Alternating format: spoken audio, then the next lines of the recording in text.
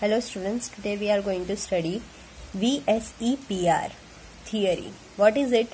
Valence shell electron pair repulsion theory. This method is applicable for dividing the shape of the molecule.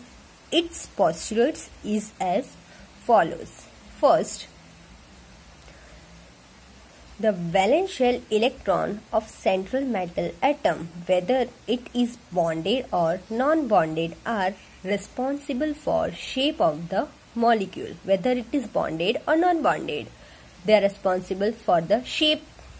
Since electron is having similar charge there will be repulsion. Same charge having repulsion. We know that between them the probability of repulsion is in between lone pair lone pair lone pair bond pair and bond pair bond pair. The repulsion will be there. The valence shell is consisted to be sphere in which electron-electron repulsion will takes place. As a result, the electron will occupy the space where its effect is negligible.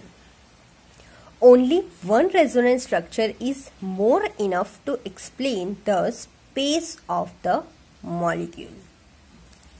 Note is given that is कि lone pair lone पर जब same charge रहेगा तो उसका repulsion सबसे ज़्यादा होगा as compare to little bit different this is lone pair bond pair this is lone pair lone pair lone pair lone pair is having more repulsion as compare to lone pair bond pair see this magnitude of repulsion will be this is greater than this now this is application of VSEPR theory. In case of NH3 that is ammonia having lone pair.